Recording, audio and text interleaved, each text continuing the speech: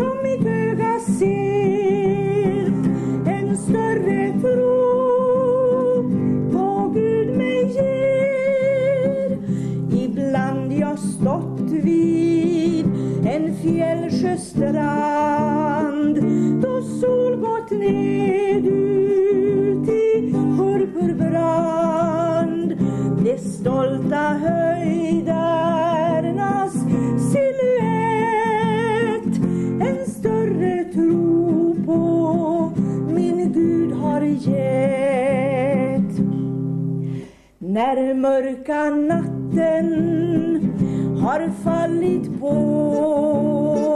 Jag lyfter blicken mot höjden då. När jag ser stjärnornas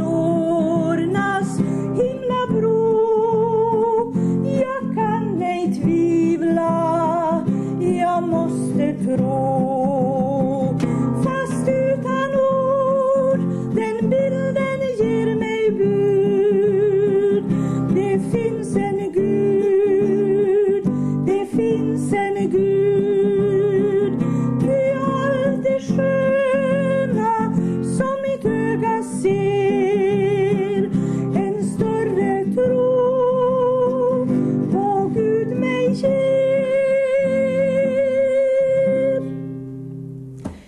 Kände ni igen den sången? Ja, ja. Kanske ni skulle vilja vara med och sjunga i refrängen? Kan ni den? Ska vi pröva en gång så sjunger vi. Fast utan ord den bilden ger mig bud. Vi försöker. Fast utan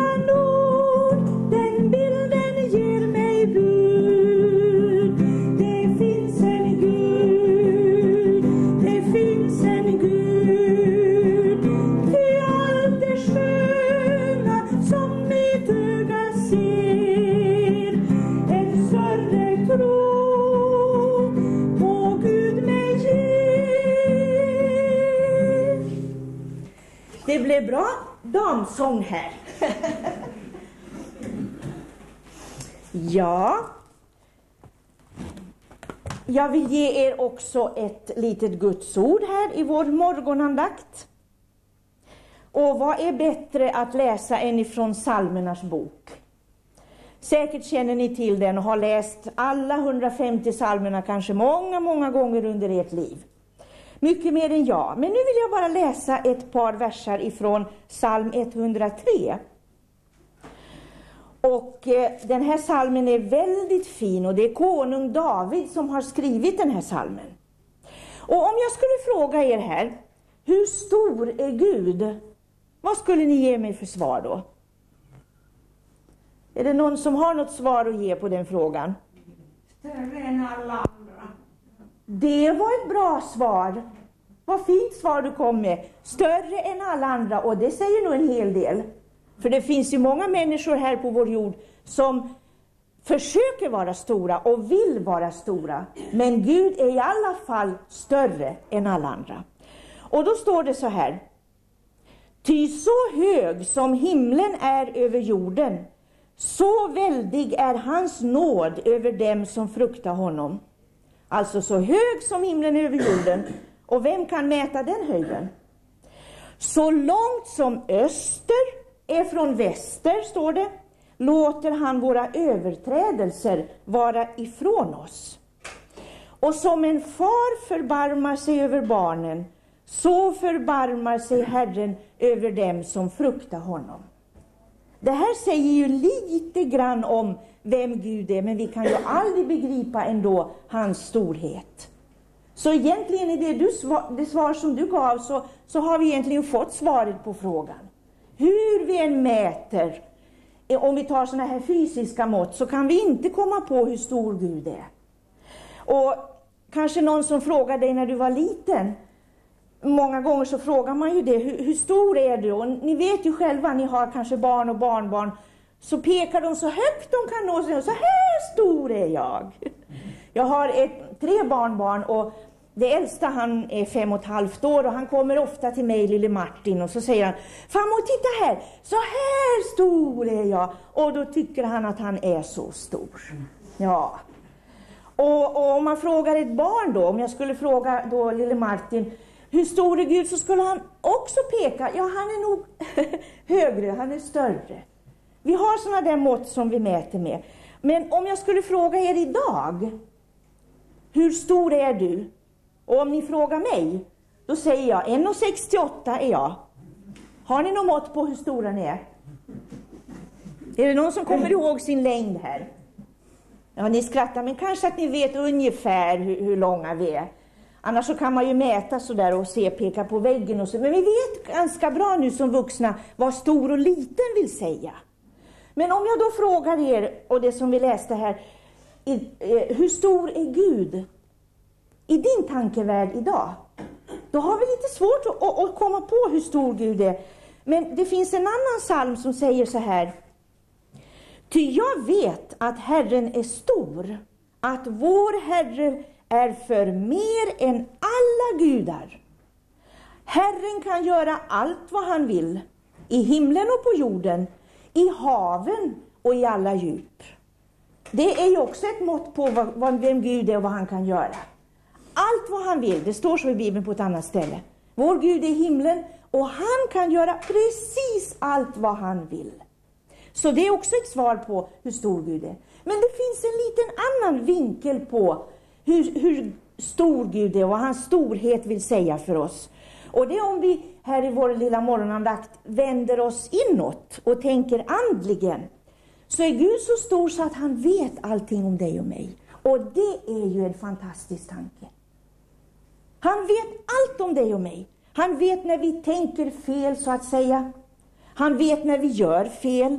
Han vet om vad jag har gjort och allt. Och ni vet att ibland så är vi människor benägna att vilja luras och sådär. Och det kan vi göra för varandra. Men aldrig inför Gud. Han vet i alla fall allting. Och Jesus när han gick här så, så ibland, innan människorna hade sagt någonting till honom, så visste han vad de tänkte. Det är ganska skrämmande egentligen. Men det är skönt att veta också. Det är någonting som Gud vet. Och så är han så stor så att han älskar dig och mig. Och det är väl bra? Tänk att han älskar oss. Även om jag inte skulle bry mig om honom eller vara olydig, om jag tänker på barnen, eller om jag medvetet gör fel och så här vidare, så älskar han oss så högt så att han gav Jesus hit för att vi skulle få vägen tillbaka till Gud. Så Jesus är vår väg tillbaka till Gud. Det är någonting i Guds storhet. Och så står det också i vår bibel om att Gud är så stor så han, när han skickar Jesus hit ned så, så lät han Jesus dö för dig och mig. Och det känner vi till, eller hur? Ja, ja, det vet vi väldigt väl om. Och det var det att Jesus han fick ta den där, det straffet brukar vi säga, för det, våra fel och brister och att vi har tappat kontakten med Gud, så dog Jesus och så får vi kontakten tillbaka. Och så kan vi säga en sak till, att bara för att Jesus blev vägen tillbaka till Gud, så förlåter han oss våra synder när vi ber om det. Men det är ingenting som sker mekaniskt. Nu trycker jag på en knapp här och så har jag Guds förlåtelse. Utan det är någonting som du och jag behöver göra. Vi behöver be Gud, så får vi förlåtelse. Det var det som Jesus gjorde när han kom hit. Och då blir vi medlem i Guds familj. Och det är det bästa vi någonsin kan göra här i livet. Det är att vi ber, Herre, får jag bli medlem i din familj? Jag vill bli ditt barn. Jag vill ha Jesus som min bror. Det, är, det ligger en, en hemlighet i att tala med Gud. Där har vi nyckeln som låser upp till Guds hjärta. Så jag skulle vilja ge det fina rådet till er här också idag. Och det kanske ni gör. Tala med Gud. Det gör jag högt när jag sitter i bilen och kör. Jag åker mycket bil. Mitt arbete är långt bort. Och, och då sitter jag och pratar med Gud. Och, och så liksom upplever jag att Gud på något sätt talar till mig i mitt hjärta också. Och så vet vi det att Gud han är så stor också, så att när vi har kommit in och blivit barn i hans familj, så hjälper han oss att växa. Och precis som de små barnen växer upp och, och får andra värderingar av vem Gud är och hur stor han är, så vill Gud hjälpa dig och mig också att växa till i gemenskap med honom. Och då får vi hjälp att, att leva, vi får hjälp att förstå vad Bibeln säger, vi får många, många, många bönesvar. Jag har min far här från Sverige. Roligt att du är med mig här idag. Han heter Einar Alfredsson, bor i södra Sverige, i Tranås. Och han har känt Gud i väldigt, väldigt många år. Han blir nu 89 år ganska snart. Och om jag skulle fråga honom, men det har vi inte tid med att göra här idag, för det är strax slut på vår lilla stund. Men han har fått många, många bönesvar i livet, eller hur? Ja, han nickar. Och jag vet det. Och jag är ett bönesvar till honom. För genom att han lärde känna Gud, så fick jag lära känna Gud. Och det är jag så glad för. Så ta vara på det här. Och nu har vi ju inte sagt nästan någonting om hur stor Gud är, men lite. Så vi tar med oss det som ett, ett um, andligt morgonkafé här idag. Ni drack kaffe och åt goda smörgåsar för kroppen. Och så får vi till vår själ och till vår ande reda på det här, att så hög som himlen är över jorden, så stor och så, så hög är Gud. Och så långt som öster är från väster, så förlåter han och hjälper oss att leva. Och precis som en far förbarmar sig över barnen, en verklig far vet ni, han tar ju hand om sina barn. Och det gör Gud. Och det vill han göra för dig och mig. Med dig och mig. Och då säger psalmisten så här, när han funderar på allt det här, att Gud är så stor, att Gud är så mäktig, att han bryr sig om mig och älskar mig, så säger han, hur ska jag återgälda Herren alla hans välgärningar mot mig? Och då säger han, jag vill ta frälsningens bägare och åkalla Herrens namn. Då är det som att, att frälsningen liknas vid en bägare. Och ni vet ju om man är riktigt törstig och ser en bägare fullt med vatten, då vill man gärna dricka och då blir man mätt. Och i gemenskapen med Gud så blir man mätt andligen också. Ja, nu ska jag ge en liten sång ännu här och så ska vi sjunga på samma psalm sen till sist. Ska vi ta någon vers på den här sången? Jag vill ge dig, o Herre, min lovsång. Jag vill tacka med skönaste ord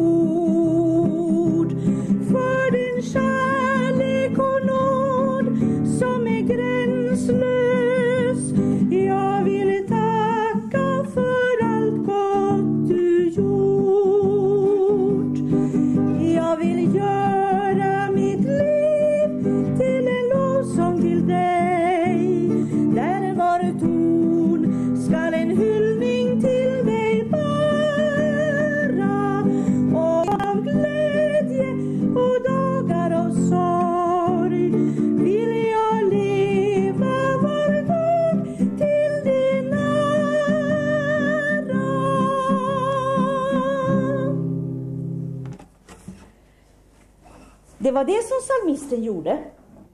Han ville ge Herren sin lovsång. Och nu ska vi knäppa våra händer och så ska vi be tillsammans innan vi sjunger då den här andra versen på sommarsalmen som vi började med här. Herre Jesus, vi tackar dig för att du är här hos oss idag. Tack för din storhet. Tack för att du är så stor som himlen är hög. Och din nåd hjälper oss och når oss här idag. Tack för att så långt som öster är från väster så låter du alla våra fel och misstag vara fjärran ifrån oss när vi ber dig om det, Herre. Och precis som en far förbarmar sig över barnen så förbarmar du dig över oss. Och det har du gjort, Herre, genom Jesus Kristus. Tack Jesus för att vi får bli mätta i vår själ när vi tror på dig som vår frälsare. Var med alla mina kära vänner här idag. Vi ber om det i Jesu namn. Amen. Ska vi sjunga vers nummer två på den här salmen på sidan 138. Den talar om fagra blomsterängar och åkerns ädla säd. Vi sjunger den då till sist.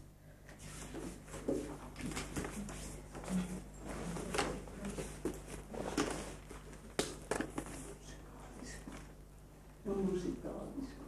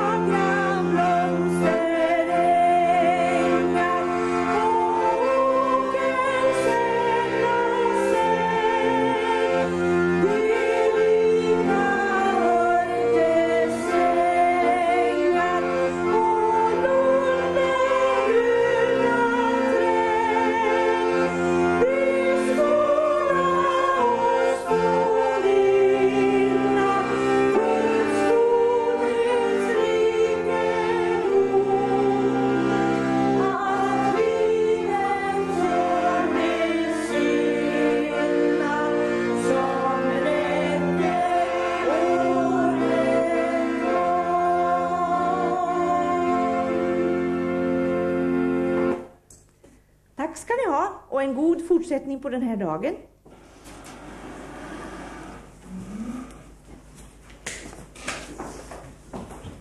Tack ska du ha.